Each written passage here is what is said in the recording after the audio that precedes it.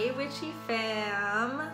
This is Atourina and I am here to do the October Witches Box reveal.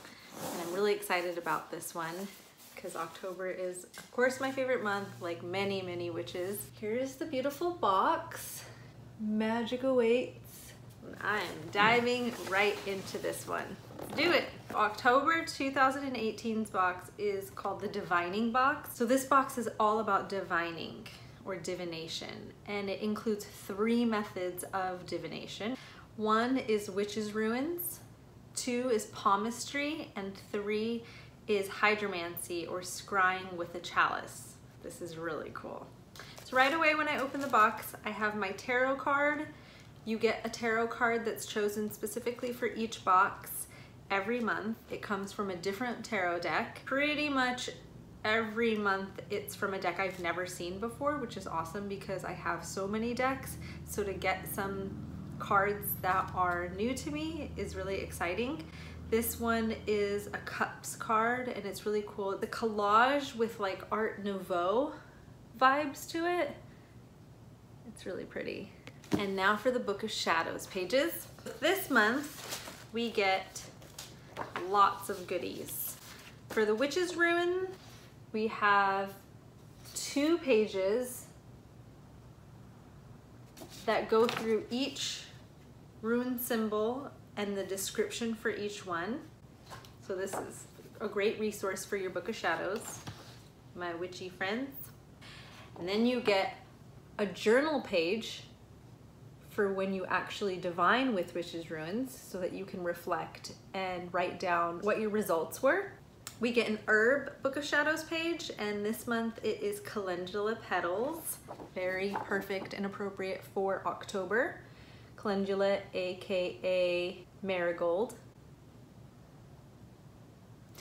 Ooh, this one is cool. It's a hydromancy Book of Shadows page and it explains what hydromancy is for all of us that do not know because I have scryed with mirrors, but I've never done scrying with water and I didn't even know what it was called. So this is really, really cool. And it's got an awesome image of a woman looking into water. Last but not least, we have a Book of Shadows page for palmistry. I'm so excited. This box is like the equivalent of Christmas Day or Solstice Day or your birthday. I don't even have words. The first thing that I've pulled out is a gorgeous very large, very shiny, very witchy chalice for hydromancy. Oh my God, there's a pentacle in there. I hadn't even looked inside. You guys, what is even happening here? This is so gorgeous. I have three chalices and they are all half this size. They're very small, they're silver and they're gorgeous, but they're small and this one is wide wide is important because then you can gaze in and actually see your reflection and do your scrying. This is so gorgeous. I love it and it's so witchy. So let's keep going. Next up, we have a tin of incense. It is called Divining Truth Incense, so I can only imagine that this was perfect to burn while you are doing your divining work with one of these three methods provided, it is, holy smokes, it smells incredible. There's two really strong scents in here that I smell. One is like citrus and the other one is white sage. I definitely see sage, calendula. Oh, I see resin. I mean, it smells incredible. It smells like magic in a tin. And it's six ounces.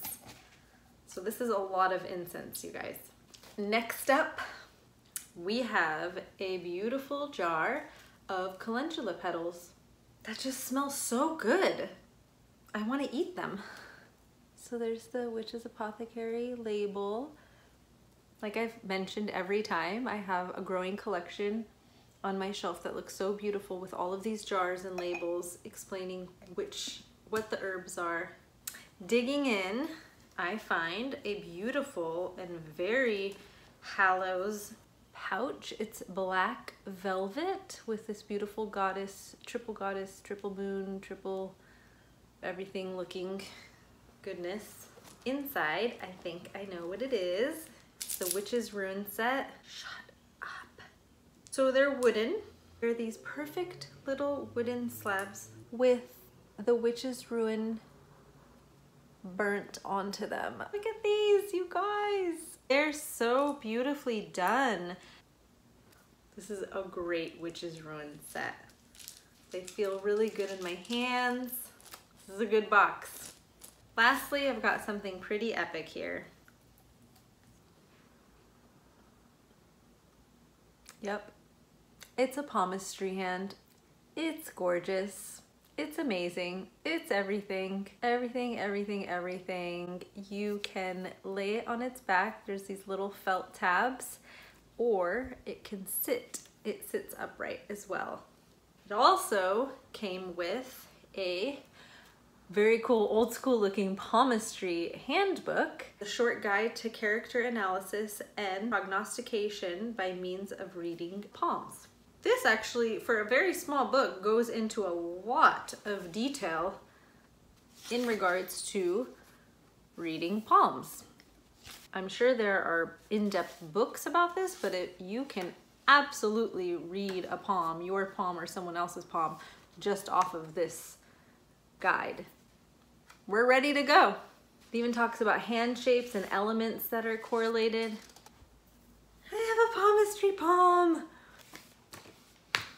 So that's the October Divining box. It's incredible. I'm kind of speechless. I had a feeling this would be one of my favorite boxes of the year. I can say that it is. I'm definitely a Hallows witchy October level up my witch game type of witch. I love this time of year and these are all the perfect, perfect tools to do that with. Thank you so much for joining. Definitely head over to thewitchesbox.com and get your subscription going. You do not want to miss out on any of these goodies.